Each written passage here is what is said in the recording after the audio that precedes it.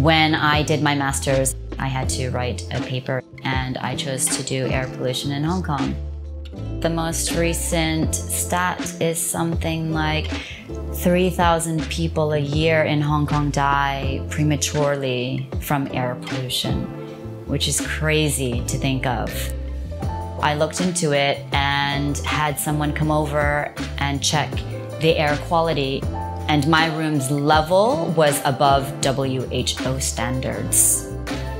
So I found LIFAair. I say LIFAair found me. and it has been a game changer. The machine is complicated inside, but it's really easy to use.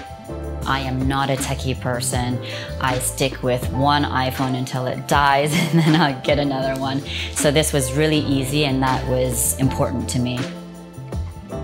There are so many things we have to worry about in this world, especially with this pandemic, and clean air and the air we breathe should not be one of them.